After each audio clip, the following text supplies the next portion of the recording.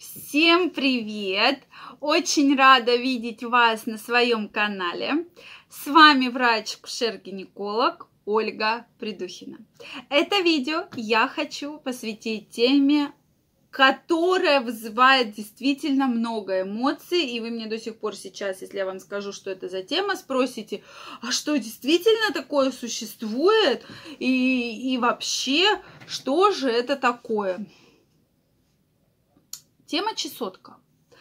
Действительно, чесотка э, беспокоит большое количество людей, действительно, есть разные нейро, нервно-психологические такие Э, критерии, но сейчас я встречаюсь почему-то с этим заболеванием у пациентов. То есть э, заболевание паразитарное, относится к паразитарному, когда клещ, да, кислоточный проникает в эпидермис, делая там такие ходы, и из-за этого возникает вот тот самый зуд, который очень часто как раз э, беспокоит многих.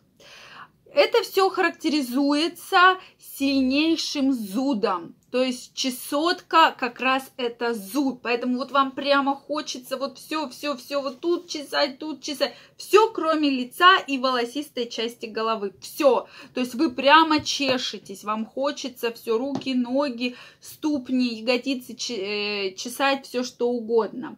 Также даже половые органы. Потому что ко мне недавно обратилась пациентка, она уже наблюдалась по поводу инфекций, передающихся половым путем. То есть есть там и кожные проблемы, есть экзема, и вот как раз она обратилась, что сильнейший зуд, прямо зуд, который мне не дает покоя. Я не знаю, что вообще делать с этим зудом.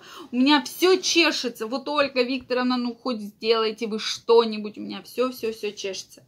И, конечно, это немножко показалось странным, потому что такой зуд, он, да, иногда бывает при каких-то, когда вы сильно нервничаете, сильно переживаете, но опять же он носит носит такой вот, э, вот есть зуд, да, и прекратился зуд.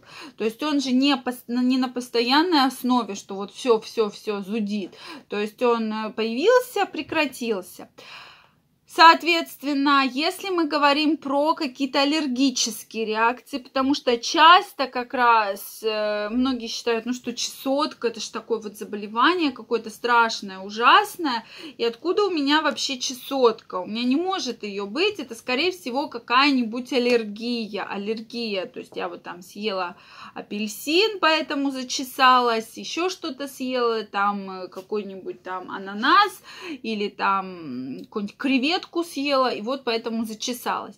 Нет, действительно, Э, после аллергических реакций бывает, но это больше что-то локализованное, то есть зачесался нос, а, губы там, еще что-то.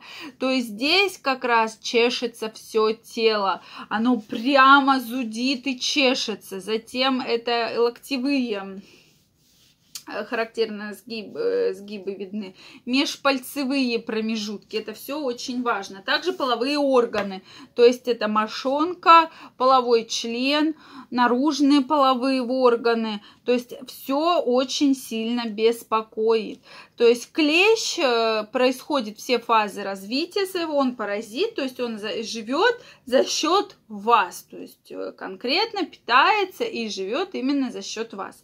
Поэтому это заболевание как раз передается и контактным путем, поэтому человека, если вы с ним вступили в половой контакт, а у него как раз была чесотка, то, скорее всего, или там даже полежали, да, вместе, соответственно, у вас тоже может это случиться. Что же делать? Нужно, конечно, взять э, соскоп, посмотреть, что это конкретно вообще такое, и после этого вам будет назначено очень хорошее лечение.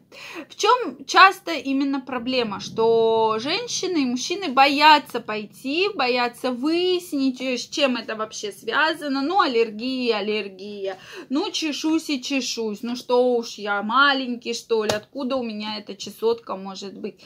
А очень важно все-таки прийти к дерматовенерологу, взять соскоп, да, или хотя бы прийти к гинекологу, андрологу э, и понимать, в чем проблема. То есть, действительно ли это молочница, да, которая также бывает у мужчин. Почему у меня зудит промежность? Я уже столько всего перепила, целую кучу всяких таблеток, свечей, чего только я не делала. А у меня все равно зуд, да еще и по всему телу. То есть, вот при чесотке, если у вас не чешется лицо, если не чешется вот в, как бы в область волос, волос, да, то есть волосистая часть головы, то, скорее всего, это именно чесотка, которую нужно выявлять, с которой нужно работать и лечить. Спросите ли вы меня, часто ли встречается это заболевание? Не скажу, что очень часто, но встречается. И как раз вот э, может быть так э, достаточно локализовано. То есть, конечно, э, в основном это и по телу, по всему, по всей поверхности тела, вплоть до ступней, как я уже сказала, межпальцевых промежутков, локтей. Но сейчас и бывает очень достаточно локализовано, то есть какая-то часть, то есть зачесалась там грудь, зачесались ягодицы, то есть очень локализовано, а потом уже переходит на все тело.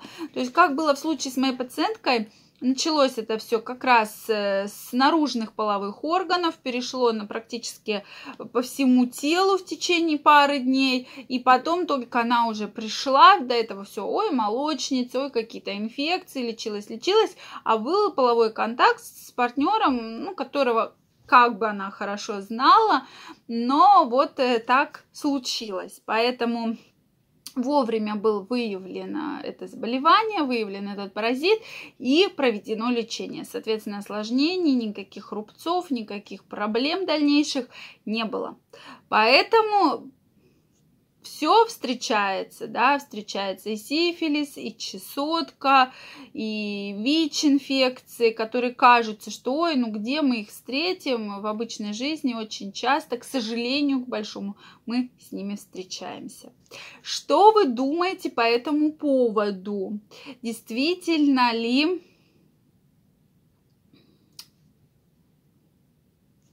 это все вот так вот э, может быть? Да, может, вы с этим заболеванием сталкивались, обязательно пишите ваши мнение.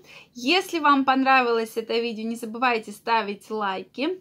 А я вас всех приглашаю в свой телеграм-канал, где ежедневно выходит огромное количество моих статей, которые, кстати, очень интересны. Мы разбираем очень многие темы, видео, которые, возможно, вы не видели, поэтому обязательно подписывайтесь и делитесь вашим мнением. Обязательно в скором времени проведем эфир, где я отвечу на интересующие вас вопросы. А я вам желаю огромного здоровья, любви и чтобы никакие чесоточные клещи вас никогда не беспокоили. Всем пока-пока!